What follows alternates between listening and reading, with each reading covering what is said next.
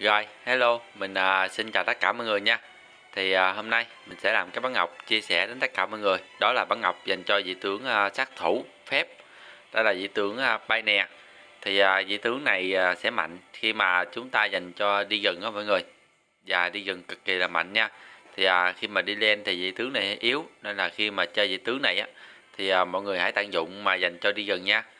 Thì uh, sau đây mình sẽ đi vào cái bắn ngọc đầu tiên mà khi uh, chơi bài nè đó thì ờ, uh, bản ngọc này thì mình sẽ lên là công phép cộng 42 xuyên giáp phép là cộng 88 hút móc phép là cộng 8 phần trăm tốc chạy là cộng 5 phần trăm và tóc đánh là cộng 11 phần trăm nha.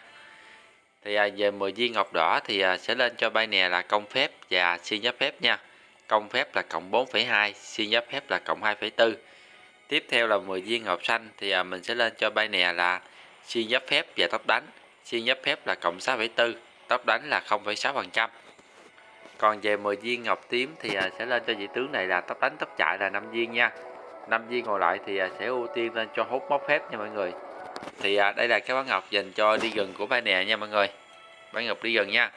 Tiếp theo mình sẽ đi vào cái phần trang bị và mình sẽ chia sẻ cái trang bị của bay nè tùy theo tem mà mình lên nha. Trước tiên thì mình sẽ chia sẻ cái trang bị mà khi mà chơi á thì à, khi mà gặp tem bạn á, nó đồng đều giữa sát thương vật lý và sát thương phép thực thì à, mình sẽ lên cái trang bị đi gần như sau nha. Cái món đầu tiên á, là mình sẽ lên cái món đi gần đó chính là cái gương Loki.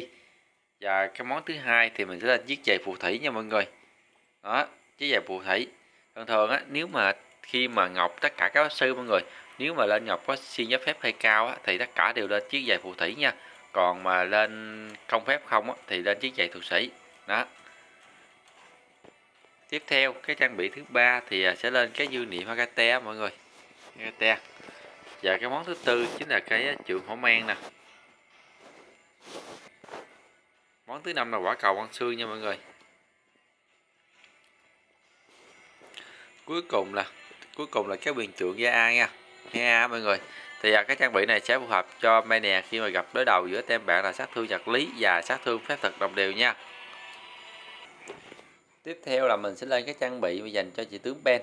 Thì à, khi mà đối đầu với tem bạn á, là sát thương vật lý mạnh nha. Thì à, mình sẽ lên như sau. Đầu tiên thì à, cũng lên món đi gần thôi. Món thứ hai là sẽ lên chiếc giày à, hậu vệ mọi người. Giày hậu vệ nha. Món thứ ba thì cũng dư niệm Makate nhưng mà món thứ tư thì mình sẽ lên cái quả cầu băng xương trước nha. Đây quả cầu băng xương trước nha. Rồi cái món thứ năm mình sẽ là một món thủ món thứ năm mình lên thủ là cái này nè mọi người. Khiên quyền thoại để mà làm giảm tốc đánh nha mọi người. Ở đây thì à, cuối cùng là sẽ lên cái à, quyền trượng đó mọi người.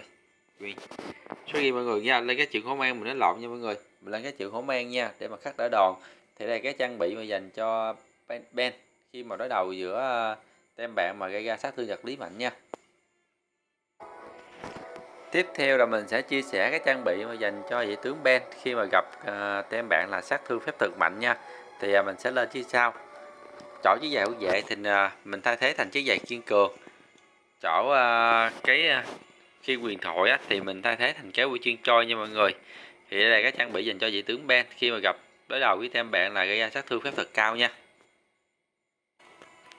Thì à, đây là cái phần trang bị dành cho vị tướng Ben nha. Tiếp theo mình sẽ đi vào cái phần phù hiệu mọi người thì à, phiểu hiệu của vị tướng Ben thì hiện tại vẫn dùng cái ma chú. Thì à, cái ma chú thì ở đây mình có chọn hai cách.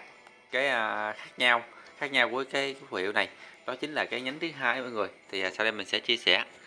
Thì à, mọi người khi mà chọn ma chú á, thì à, giúp cho vị tướng Ben khi mà tung chiêu hoặc đánh thường á, chúng tướng địch sẽ cộng dồn dấu ấn nha mọi người. Cộng đủ ba dấu ấn sẽ lập tức ghi ra sát thương phép nha.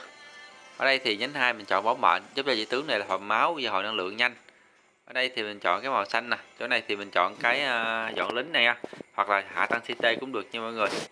Hai cái này thì uh, mình sẽ ưu tiên chọn cái nào cũng được nha. Thì à, nếu mà chọn uh, dọn lính á, thì mọi người sẽ khi tung chiêu hoặc đánh thường á, vào lính thì à, sẽ bị dễ tiêu diệt hơn. Còn cái chỗ này á, thì à, khi hạ phục được tướng địch á, thì à, sẽ cộng dòm công vật lý và công phép nha mọi người thì đây là cái phần phù hiệu trang bị bản ngọc của vị tướng bay nè dành cho đi gần nha. Đến đây là hết. Và mình sẽ chào tất cả mọi người. Và hẹn gặp lại tất cả mọi người trong các video tiếp theo nha.